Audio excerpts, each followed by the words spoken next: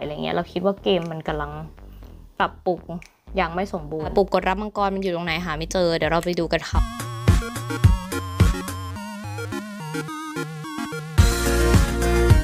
สวัสดีค่ะ พบกับสายจาก a m s i d e Channel ค่ะ จบ Heroic Race แล้วนะ อันนี้ทราย restart เครื่องใหม่นะคะ แล้วก็ปล่อยให้เวลาไปสักพักหนึ่งเพราะบางทีเซิร์ฟเวอร์เนี่ย มันจะมีความแบบ load อะไรเงี้ยซายเลยยังไม่ได้กดรับรางวัลหลังจากที่ 6 โมงแล้วใช่ไหมก็คือ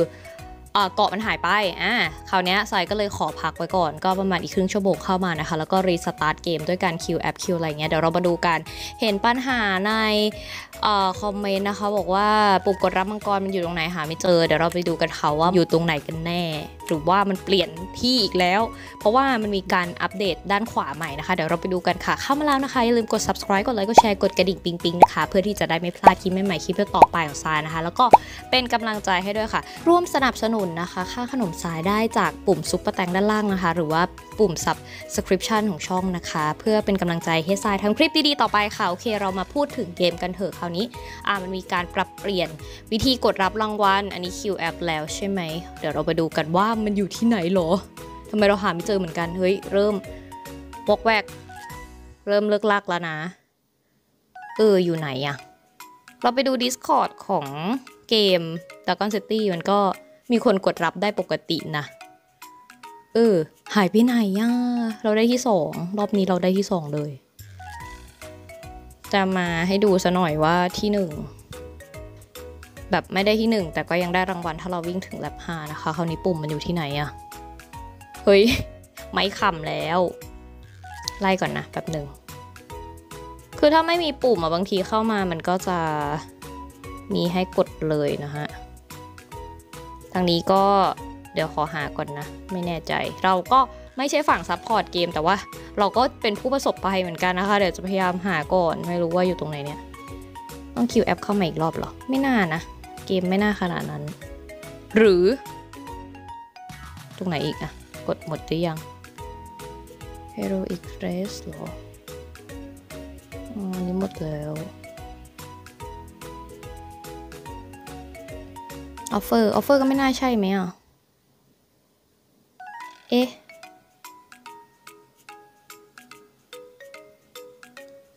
หรือว่าจะอยู่ที่ storage อีกที่หนึ่งอาจจะเป็น storage ก็ได้นะ กล่อง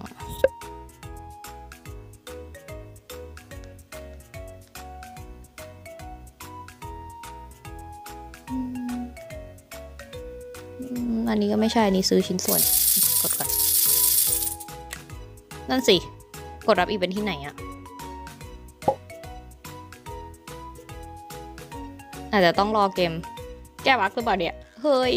มันอยู่ที่ไหนเดี๋ยวก็ไม่ปะแผ่นนี้ก็ไม่ใช่ แผ่นนี้ก็ไม่ใช่ แผ่นนี้ก็ไม่ใช่ มีใครมี problem ไหม เดี๋ยวขอไปดู Discord แล้วก็มาอัดเกมใหม่ ขอปิดคลิปนี้ก่อนแป๊บหนึ่งโอเค เราเจอแล้วนะคะ ก็คือเราก็ปิดเกม Q App ใหม่อีกรอบหนึ่งนะ คราวนี้เหมือนกับว่าตัวเกมบางทีมันโหลด ไม่หมดหรือเปล่า อันนี้ไม่แน่ใจก็เลยลองทำใหม่อีกรอบค่ะ แล้วก็เข้ามาหลังจาก load เนี่ยก็จะเป็น แผ่นนี้ pop up ขึ้นมานะ แล้วก็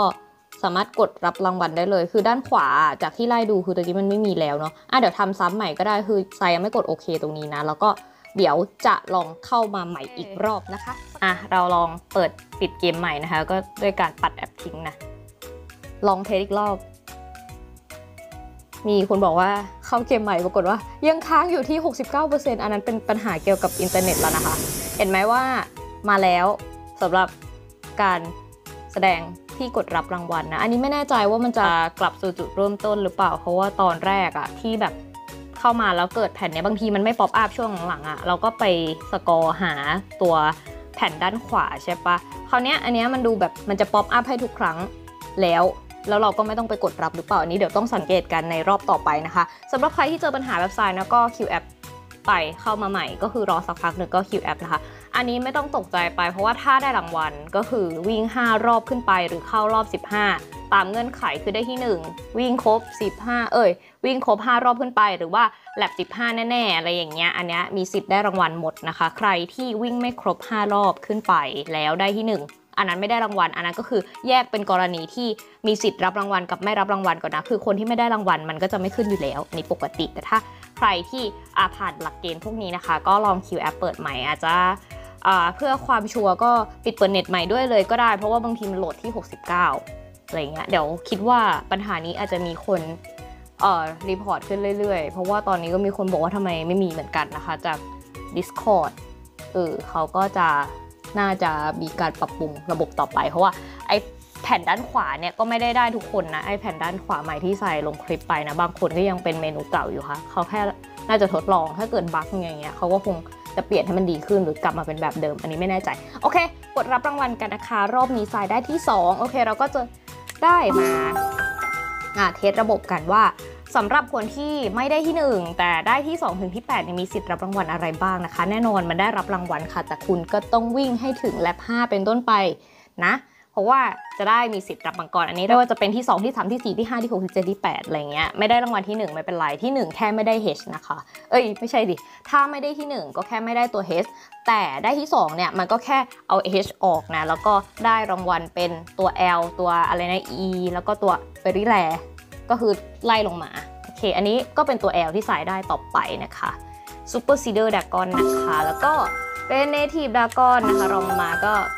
เป็น Very Land นะคะได้ 3 ตัว เพราะว่าได้ที่ 2 คือได้ 3 ตัวเท่านั้น โอเค ก็จบแล้ว มันจะไม่ได้มีแบบแผ่นที่มันเป็นวิ่งวิ่งให้ดูแล้วอะว่าแบบสีเทาๆ เกิดอะไรขึ้นอะไรเงี้ย เราไม่แน่ใจว่าเกมมันยังปรับตรงนี้ไม่ดี เพราะคนที่ได้แถบด้านขวาเนี่ยเขาถือว่าเป็น beta user นะคะ ก็คือมีสิทธิ์แค่ได้ ทดลองบาง Account เท่านั้นถ้าเกิดมี bug มีอะไรเงี้ยเขาก็เก็บข้อมูลเอาไว้ปรับปรุงในรอบหน้านะคะ รอบนี้ก็อาจจะแบบยังแก้ bug ไม่หมดอะก็อดใจรอกับการที่มันกดใช้ยากไปนิดนึงนะคะ มันก็ต้องมีการปรับเปลี่ยนกันบ้างนะสายก็อยู่มาทุกยุคทุกสมัยกับการที่ปรับเกมแบบกดรับรางวัลไม่มีแผ่น ตั้งแต่ไม่มีแผ่นด้านขวาให้กดอะทุกคนบางทีมันไม่ได้เราก็แบบเฮ้ยร้อนใจได้ไม่ได้คือ เราก็ต้องรีสตาร์ทเกมใหม่เนี่ยกลับสู่จุดเริ่มต้น อย่างที่สายบอกนะคะ โอเคก็จบแล้วสำหรับการกดรับรางวัลในรอบนี้นะคะ ก็หวังว่าทุกคนอะจะลองไปทำกันดูนะคะ ก็ใครที่ไม่ได้รอบนี้ไม่เป็นไรสำหรับทรายเนี่ยทรายจะมาทดลองให้ดูว่าเออสองถึงแปดนะมีสิทธิ์ได้รับรางวัลไหมก็คือได้นะคะนี่ก็อยากจะมาพูดอ่าให้เข้าใจเคลียร์ในคอมเมนต์ที่มาถามเหมือนกันว่าเออทำไมถึงเอ่อที่2ถึงที่8มันมีอันนึงทรายไม่เคยทำคลิปเลยก็เลยรู้สึกว่ามาพูดในคลิปนี้ดีกว่าว่าเออการที่เราไม่ได้เนี่ย ไม่ใช่ว่าแค่ที่ 1 เท่านั้นนะที่จะได้มังกร แต่คือที่2ถึงที่ 8 มันมีสิทธิ์ได้อยู่แล้ว แต่ก็วิ่งครบห้ารอบขึ้นไป แล้วก็ครองที่ตำแหน่งนั้นอะไรอย่างเงี้ยเออแต่เสียดายมันไม่มีแผนสรุปแล้วว่าว่าใครได้ที่เท่าไหร่อะไรเงี้ยเราคิดว่าเกมมันกำลังปรับปรุงอย่างไม่สมบูรณ์ใช่ก็เสียใจเหมือนกันที่ไม่มีแผ่นให้ดู เพราะว่าเราก็อยากรู้เหมือนกันว่าเราอยู่ตรงไหนที่มันจะเป็นเกาะใหม่อะไรแบบนั้นมันก็จะมีปัญหาแบบในการ สับเปลี่ยนของที่จะเอามาขึ้นบนเกาะก็คือชินไปแล้วก็เลยแบบโอเค มันก็คงเป็นปัญหานั้นก็เลยรู้สึกว่าวางมือถือไปก่อน จนกว่าเกมมันจะโหลดโหลดนู่นนี่โหลดนี่นะ มาให้เราเก็บอะไรเงี้ยเราจะได้แบบว่า ได้รับชัวร์แน่ๆแบบที่สายทำนะ คือขนาดสายแบบปล่อยไว้สักประมาณครึ่งชั่วโมง QF ก็แล้วแล้วก็เพิ่งเข้ามาในเกมใช่ปะแล้วก็เกาะอีเวนต์ทุกอย่างมันมาแล้วก็จริงแต่กลายเป็นว่าทำไมเกาะ Heroic Race แบบ พวกปุ่มพวกอะไรไม่ขึ้นมาให้กดรับอะไรเงี้ยเห็นปะแล้วก็ต้องไปเข้าเกมออกใหม่อะไรแบบเนี้ยก็ก็ต้องแก้ปัญหาแบบนี้ไปก่อนนะคะโอเคสำหรับอีเวนต์ต่อไปรอบนี้นะก็มาในธีมไหนเนี่ยอะขอดูเมนูใหม่หน่อยซิว่ามันใช้ง่ายจริงหรือเปล่า จากคนใช้งานที่มา check event นะอะจะมีอีเวนต์ขึ้นมาก็ดูจากหน้าต่างนี้ แต่ว่าถ้าเป็น news news จะบอกไหมในส่วนของ news ก็จะประกาศนะคะว่า ใครที่ได้ตัว H เนี่ยสามารถไปทำดาว 2 ดาวได้ที่ side quest นะคะ แล้วก็เข้าไปเพิ่มดาวได้ตรงนี้ มันก็จะมี quest ให้เราสามารถที่จะเก็บดาวมังกร แต่ว่ามันต้องสู้ถึง stage สินะ ก็คือสู้ทุกทุกแบบกี่นาทีอะสิบกว่านาทีแล้วก็เข้ามาทีนะคะ เพื่อให้มันถึง stage สิบเอ็ดก็จะเก็บได้ร้อยยี่สิบเนาะ ส่วนดาวดวงที่สองนะคะ ก็เข้าไปเช็คก่อน เราก็สู้ถึง stage สิบเอ็ด สลับไหมอะโอเคไม่สลับเลยนะ มันก็จะมีชิ้นส่วนอื่นๆ ด้วยตัว L ก็แจกตัว E ก็แจกด้วยนะ แต่ถ้าแบบเก็บ 200 ของตัว H เนี่ยจะต้องถึงสเตจ11 โดยต้องฟักไข่จำนวนตัวทั้งหมดนะคะ ตามเงื่อนไขของมันก็คือถ้าเราไม่มีตัว H ตัว super seeder คือตัว L นะ อันนี้ตัว H ตัวสูงสุดใช่ปะตัว super seeder ตัว L แล้วก็ตัวที่เป็นตัว E อะสามตัวที่เป็นแรงบนๆนะคะ เอามาสู้เนี่ยมันก็ไม่สามารถที่จะมา เก็บดาวได้แน่นอน ถ้าจะเก็บดาวตัวหลักได้ก็ต้องมีตัว H อยู่แล้วนะคะ ใครไม่ได้ที่1รอบนี้เพราะฉะนั้นมันก็จะไม่สามารถมาเพิ่มดาวได้ แต่พลาดไปไม่เป็นไรเราก็สามารถที่จะรอชิ้นส่วนนะคะอยู่ใน Off Shop อืมทรายจะรอชิ้นส่วนใน Off Shop ให้มาแบบเนี่ยซื้อด้วยเพชรอะไรอย่างเงี้ยแล้วเราก็จะได้แบบเตรียมอัญเชิญนะคะ หรือบางทีมันก็จะมีอีเวนต์อะไรบางอย่างให้เราเก็บอย่างเช่นแบบสมมุติว่า มันเป็นอีเวนต์ประมาณเนี้ยก็คือเปิดกล่องมานะ แล้วก็สุ่มตัวตระกูลหรือว่าตัว H อะไรเงี้ยที่เกี่ยวข้องขึ้นมาให้เราได้ลุ้นกัน มันก็จะมีกล่องอะไรพวกนี้ให้เล่นกันนะคะ ก็รอดูแล้วกันว่ามันจะมีแจกมาเมื่อไหร่ มันอาจจะไม่ได้ปรับปรับทันทีเพราะว่าอีเวนต์มันเพิ่งจบนะ มันก็ไม่สามารถเก็บได้ทันคนที่ชนะรางวัลใหม่ ๆอยู่แล้วนะ อันนี้ก็ต้องรอไปสักพักแล้วก็เออไปเล่นอย่างอื่นก่อน เออไปทำอย่างอื่นก่อนไปเอาตัว H อย่างอื่นก่อนอะไรเงี้ยคือตอนนี้เราก็เผื่อว่า event summon มาก็เตรียมเก็บตัว Joker Orb ทิ้งไว้อะไรเงี้ยนะคะเพื่อเตรียมอัญเชิญอะไรเงี้ยแล้วก็มาเช็คดูว่า ตอนนี้ตัว H เราชิ้นส่วนมันเท่าไหร่แล้วแบบพอที่จะอัญเชิญมาไหมก็คือหลักๆตัว H ทั่วไปก็เก็บเนี่ยเก็บ Joker Orb เพื่อมาเตรียมอัญเชิญนะตัวนี้ก็จะเป็น จำนวนเต็มของ Off ตั้งต้นก็คือ 100 นะคะ ก็หักลบไป 99สำหรับ Event Summon Unlimited ที่สุดอยู่ที่ 99 นะคะ อย่างเช่นบางตัว High Corrupted Time เนี่ยมันไม่สามารถที่จะอัญเชิญได้ทันทีเพราะว่าอะไร เพราะว่าเต็ม 500 นะคะ ก็ต้องดูสัดส่วนกันนิดหนึ่งว่าแต่ละตัวเนี่ยมันยังไง ส่วนตัวนี้ก็คือไฮวูดูอันนี้ก็เป็น 500 เหมือนกัน อันนี้ทรายติดไว้ แล้วก็จะบอกว่าอีเวนต์นี้ทรายได้ฟักไข่ตัวไฮไฮอะไรนะ ไฮคอร์รัปเต็ดมาแล้วจำไม่ได้ว่าเก็บมาจากไหน ตอนนั้นอีเวนต์อะไรสักอย่างเนี่ยแหละก็คือ อ๋อ น่าจะเป็น DY p a r t ปะนั่นแหละ ก็คือได้ซื้อตัวนี้มาด้วยอะ่ะน่าจะซื้อมาหรือว่าเก็บมาสักอย่าง ไม่ได้ฟักไข่แบบเป็นโอ้ยเกือบปี ตอนนี้คือของที่รออยู่ที่ Rainbow Habitat นะคะ มีแต่มังกรที่เตรียมรีวิวทั้งนั้นเลย ก็เดี๋ยวรอดูกันแล้วกันก็นี่เลย High Corrupted นะคะ ฟักอีเวนต์นี้เลยเพราะว่าเดี๋ยวจะได้เก็บแบบ ชิ้นส่วนตัวที่เป็นดอกไม้แล้วก็ Usurper Vampire แล้วก็ High Anomaly นี่ก็ เฮ้ย test ตั้งแต่สมัยไหนนี่ก็ไม่ฟักไข่ก็ยังคาอยู่ที่ High Cherry เนี่ยก็คือกะว่าจะแบบมาฟักไข่แล้วก็ไม่ได้ทำสักที เพราะว่าจริง ๆ ก็อีเวนต์มันก็ยังเล่นได้อะไม่ใช้ตัวพวกนี้มันก็ยังเล่นได้อยู่ หรือแต่ว่าพอ h e r i c Race รีบปั่นอะไรเงี้ยมันไม่มี h a c h e r y ที่วางไข่แบบ ที่วางไข่มันไม่ว่างอะ่ะ มันก็ต้องแบบเอาออก มันก็เลยแบบโล่งๆแบบนี้นะคะ ก็ได้เคลียร์แล้วเรียบร้อยนะแล้วก็นั่นแหละ ดองมาหลักปีเกือบปีได้ที่สุดแล้ว ตอนนี้ก็เดี๋ยวจะทดลองผสม Legacy อันนี้ก็เอา Legacy ชนกันเฉยๆเพราะว่า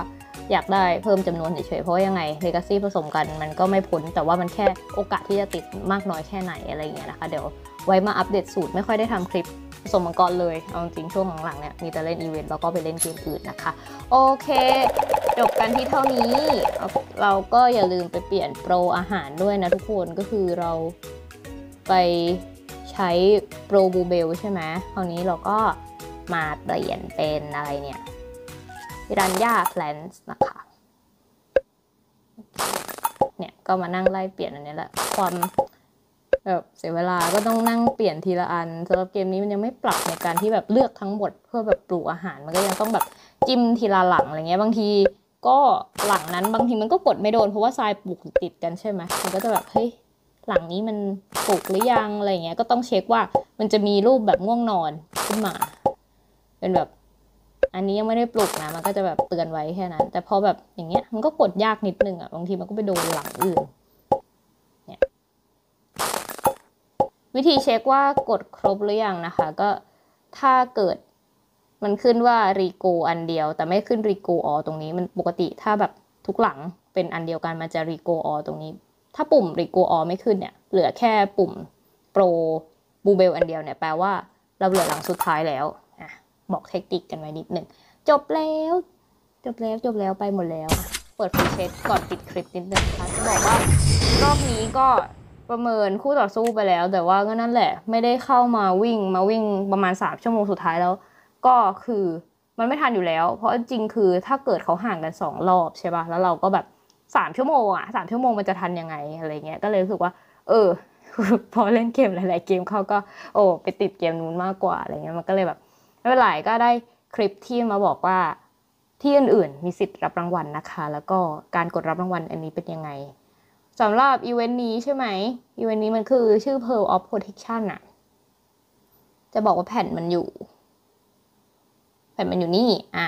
ก็เป็นอีเวนต์ทั่วไปนะคะ ที่กดรับนู่นนี่นั่น เดี๋ยวเอาไว้มาพูดกันในคลิปต่อไปดีกว่าวันนี้ก็จะเป็นการกดรับมังกรดีกว่าน่าจะเป็นแบบเรื่องใหญ่ๆเลยที่ตอนนี้แบบมันอยู่ที่ไหนใช่ปะ สำหรับคำถามจะได้รีบลงคลิปนะคะ รีบตอบคำถามก็ลองดูกันค่ะโอเค วันนี้ไปแล้วนะคะ ขอบคุณที่รับชมนะคะ อย่าลืมกด subscribe กดไลค์กดแชร์กดกระดิ่งติ๊งๆนะคะ เพื่อที่จะได้ไม่พลาดคลิปใหม่ๆนะคะ ใครที่อยากดูคลิปอื่นๆนะคะ หรือว่าอยากดูเกมอื่นๆของสารนะคะก็กดได้จากคลิปข้างล่างนี่เลยนะคะเผื่อจะไปดูอันอื่นๆกันค่ะวันนี้ไปแล้วบ๊ายบายสวัสดีค่ะ